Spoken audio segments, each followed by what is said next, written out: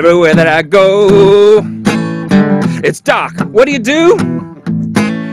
Well, I look for life in the cosmos. Maybe that life's looking for you. Are we alone? Maybe, but not for long. Well, I got those astrobiologist blues.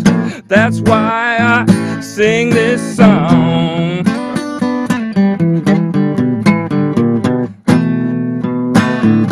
When the aliens come, will they come in peace?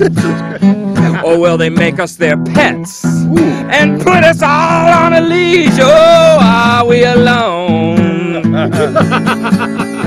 Maybe, but not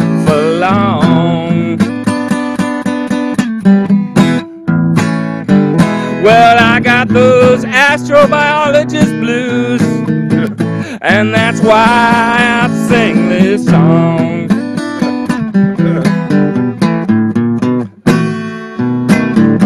Gotta take care of this planet, Yes, sir. cause it's all we got. Yes, sir. Talk to me. No, we can't move to Venus No, we because can't. you know it's too damn hot. Oh, are we alone? Good pizza, though. I can't tell you without a doubt. How are you gonna tell me that? Well, are we alone? I don't know, but I'll tell you how we're gonna find out. Tell you how we're gonna find out. Well, we've got to explore all the potentially habitable planets in the solar system, anywhere where there is or was liquid water, energy, organic molecules. This includes the clouds of Venus, the subsurface of Mars, the oceans of Jupiter's moon Europa, Saturn's moons Titan and Enceladus, and even a possible interior ocean of Pluto. Meanwhile, we need to search 100 billion exoplanets in the Milky Way galaxy for signs of life. In order to do this, we'll need to develop the next generation of space telescopes and spectrometers so we can examine those alien atmospheres and search for the chemistry produced by life forms interacting with their environments. These new instruments will not be inexpensive, but they may allow us to finally answer the age-old haunting question, are we alone?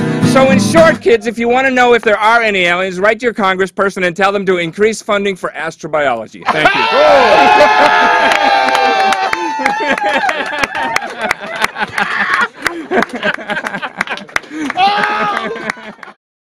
Hey, if you like this, please remember everything that we do can be found commercial free, plus exclusive original content, all on StarTalkAllAccess.com.